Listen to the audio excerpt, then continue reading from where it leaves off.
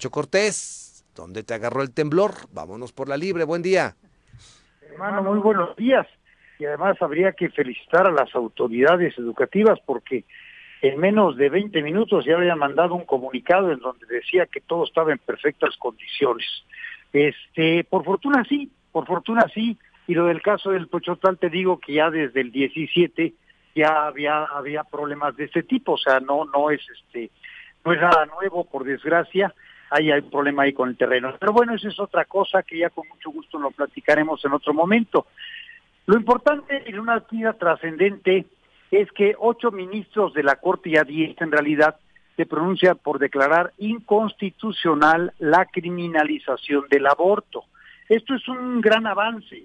En el Distrito Federal, o lo que antes era Distrito Federal y ahora Ciudad de México, ya desde hace muchos años, varios años, ya se tiene la oportunidad de abortar con todas las comodidades y con todas las seguridades, sobre todo para las mujeres que así lo deseen. Ayer en la conferencia de prensa de Morena decían que ha sido muchos años de lucha y así ha sido, muchísimos años de lucha. Alguien dice, bueno, ¿y por qué no se cuidan antes de eso?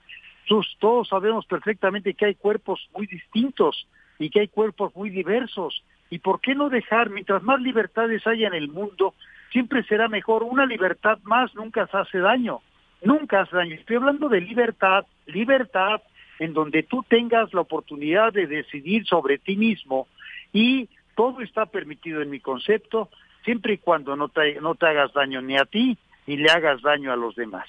Y en este caso, ha habido una serie de estudios mediante los cuales se asegura de que hasta determinado tiempo, pues en realidad no hay una, una forma de emociones, por decir algo.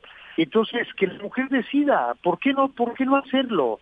¿Por qué seguir construyéndose casas en base a abortos clandestinos?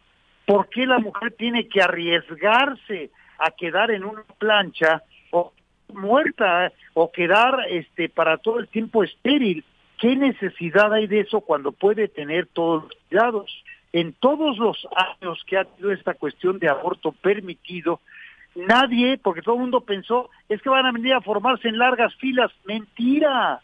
No han sido más que los que antes se hacían en forma clandestina, ahora se hacen en forma abierta con todos los cuidados y no se tiene más que el caso de una joven fallecida, pero por condiciones distintas a, la, a las cuestiones del aborto. Nada más. Entonces, ¿cuánto, qué cuesta una vida? Una vida no tiene precio. Una vida tiene, debe tener cuidado desde siempre y tú debes tener la responsabilidad de ti mismo.